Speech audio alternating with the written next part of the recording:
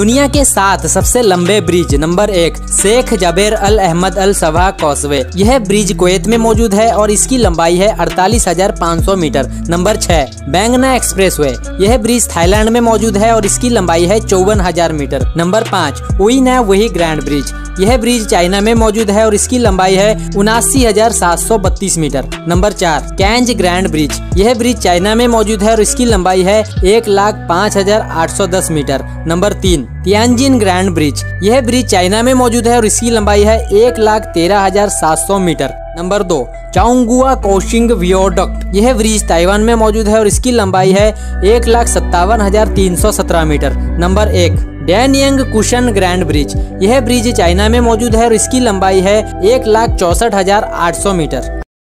Social media के ज़रिए एक 46 साल पहले खोई डायमंड रिंग वापस मिली। मिली है मैरी गजेल नाम की एक औरत से जो कि मिसिकॉन की रहने वाली है। सन 1975 में मैरी ने अपनी डायमंड रिंग खो दी थी जो कि इन्हें 46 साल बाद वापस मिली। मैरी का ये कहना है, क्रिस नोट नाम के एक व्यक्ति ने उन्हें ये रिंग वापस की। क्रिस का ये कहना है, ये रिंग उनके भाई को कचरे के डिब्बे में पड़ी मिली थी और उन्होंने इस रिंग को बीस साल ऐसी संभाल करके रखा था। फाइनली इस रिंग को इसके मालिक तक पहुँचाने के लिए क्रिस ने जो है सोशल मीडिया मीडिया का सहारा लिया और फेसबुक के ज़रिए मैरी गज़ल को ढूंढ करके उन्हें उनकी रिंग वापस कर दी। इससे आप लोग इस बात का अंदाज़ा लगा सकते हैं, सोशल मीडिया की पहुँच और पावर कितनी ज़्यादा है। आप लोगों को जानकारी कैसी लगी हमें कमेंट करके ज़रूर बताइए। इसी तरीके और वीडियोस देखना चाहते हैं तो चैनल को सब्सक्राइब कर लीजिए।